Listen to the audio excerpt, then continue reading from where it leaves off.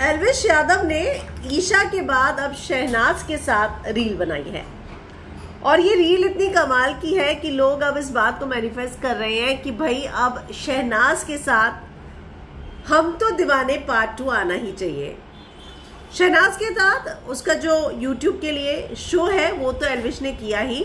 लेकिन अब ये जो रील सामने आई है, अगर उसके कमेंट्स आप पढ़े तो लोग अब ये चाह रहे हैं कि जो हम तो दीवाने को सक्सेस मिली है। उसको आगे ले जाते हुए उसका पार्ट टू बनना ज़रूरी है और पार्ट टू में कोई और नहीं बल्कि या तो शहनाज होनी चाहिए या फिर ईशा गुप्ता। तो आपको क्या लगता है कि वाकई में अगर इसका पार्ट टू आता है तो हमने ईशा के साथ भी केमिस्ट्री देखी, एलविश की और शहनाज के साथ भी हम ये केमिस्ट्री देख रहे हैं।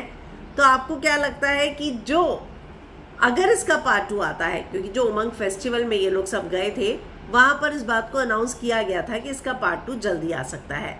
तो अगर इसका पार्ट टू आता है तो फिर उसमें आप किसे देखना चाहेंगे? ईशा को, या फिर शहनाज को, या फिर उर्वशी को? लेकिन शहनाज के साथ ये रील में जो दोनों की केमिस्ट्री नज़र आ रही है, वो लाजवाब है।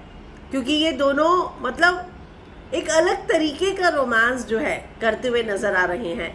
मुझे बहुत ही अच्छा लगा, बहुत ही सिंपल सा सेटअप है। कुछ भी नहीं, सिर्फ़ एक्सप्रेशन से ये दोनों एक चीज़ों को जो है कन्वे कर रहे हैं। तो अगर आप कमेंट पढ़े तो वहाँ पर लोग कह रहे हैं कि भाई, अब तो वाकई में एक गाना जो है बनता ही है। तो आपको क्या लगता है कि अगर इसका पार्ट टू आता है तो आप एलविश को किसके साथ देखना चाहेंगे? शहनाज, ईशा या फिर उर्वशी? कमेंट में अपनी राय लिखकर ज़रूर बताएँ।